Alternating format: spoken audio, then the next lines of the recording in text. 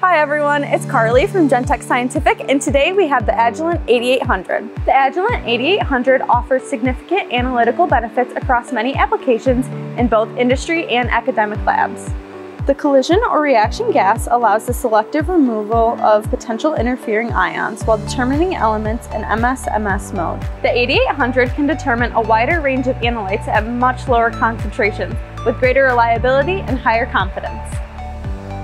Help us help you. Check out GenTech today.